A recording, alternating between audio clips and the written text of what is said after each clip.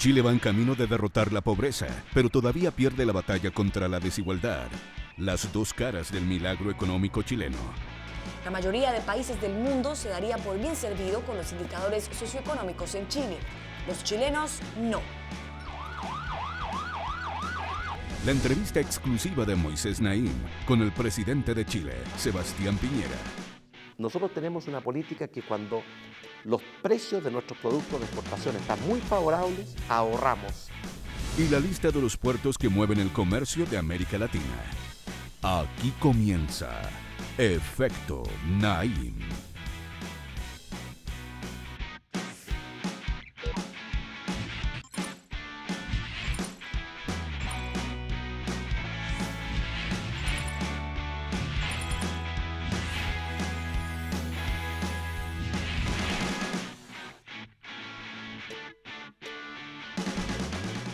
Bienvenidos, soy Moisés Naim desde Washington.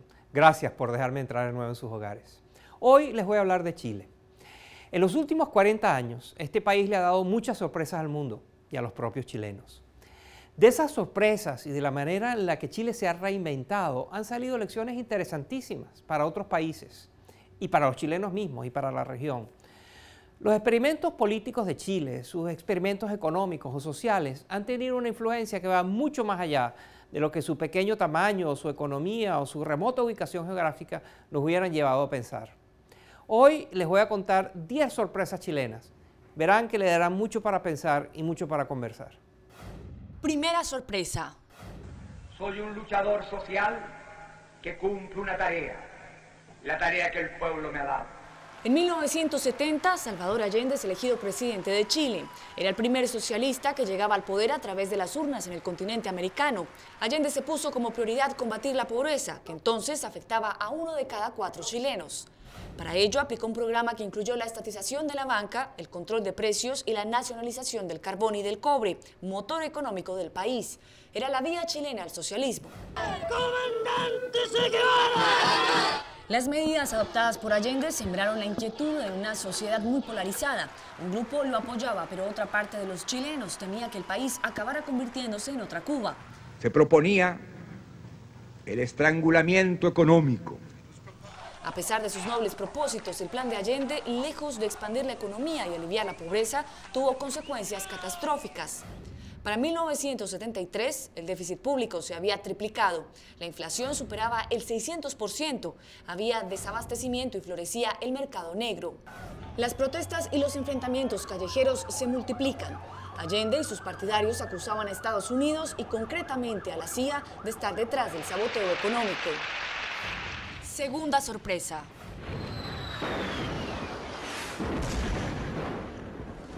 Nunca se sabrá qué habría ocurrido si a Salvador Allende se le hubiera permitido terminar su mandato. El 11 de septiembre de 1973, el general Augusto Pinochet lideró un golpe de Estado que culminó con la muerte del presidente constitucional en su despacho de la Casa de la Moneda. Petición incondicional, no parlamentar. Petición incondicional.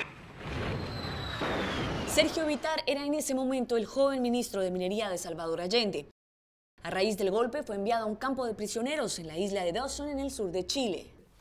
Hay un bando, después del golpe militar, inmediatamente a las pocas horas, ya conocido que el presidente Allende había muerto en la moneda, bombardeado el Palacio de Gobierno, y en ese bando aparece mi nombre. Yo recuerdo que tuve la gran duda de decir, ¿qué hago? ¿Me asilo?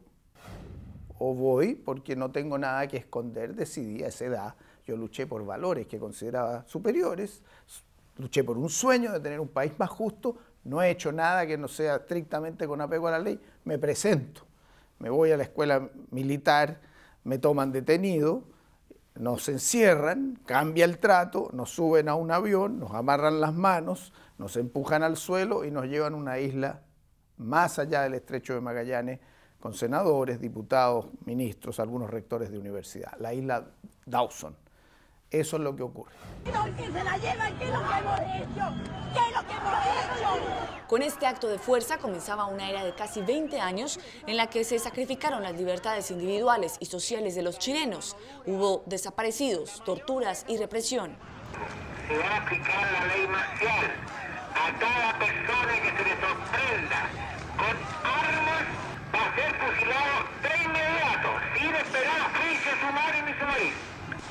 Pero después de varios fracasos económicos iniciales, el dictador Pinochet decidió hacer un experimento sin precedentes en América Latina, abrir la economía. Esto supuso, entre otras cosas, la supresión de aranceles y otras medidas proteccionistas, la diversificación de su aparato productivo y el impulso a la iniciativa privada. Y para sorpresa de muchos, dentro y fuera de Chile, la economía comenzó a reanimarse y a crecer con velocidad. Fue el origen de lo que después, bajo el impulso de la democracia, el mundo llamó el milagro económico chileno. Tercera sorpresa. Chile sorprende a Pinochet y Pinochet sorprende a Chile. Después de gobernar durante 20 años con puño de hierro, el general Pinochet comete un error de cálculo. En 1988 decide medirse en las urnas y convoca un referéndum sobre su continuidad al frente del gobierno, frente del país. Uno de los eventos que sorprendió al país, a Chile, ocurrió en un programa de televisión donde un líder político se atrevió a confrontar directamente al dictador. Eso no se hacía, eso no pasaba, pero pasó en este programa. Veamos. Le voy a recordar, general Pinochet, que usted el día del plebiscito de 1980 dijo, presidente Pinochet no sería candidato en 1989. La Cámara está enfocando, espero. Y ahora le promete al país otros ocho años, con tortura, con asesinatos, con violación de derechos humanos. Me parece inadmisible que un chileno tenga tanta ambición de poder de pretender estar 25 años en el poder.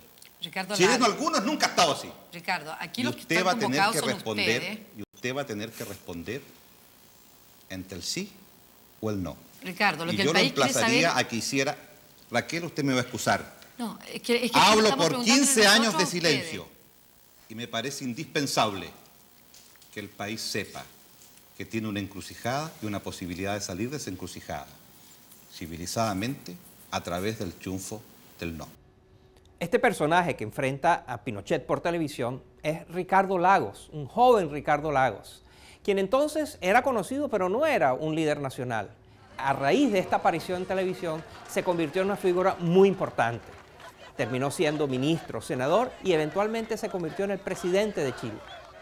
Y fue así, a raíz de este evento y de la presión política, que hay un referéndum, los chilenos rechazan a Pinochet en las urnas.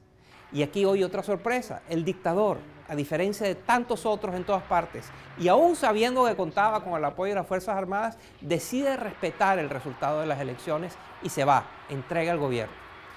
Y así los chilenos retoman la senda democrática que habían abandonado por 20 años. Cuarta sorpresa.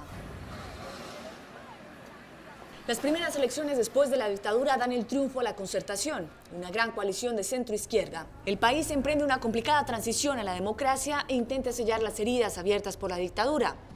Personas que antes habían sido encarceladas, torturadas o exiliadas por el régimen pinochetista ahora eran parte del nuevo gobierno democrático.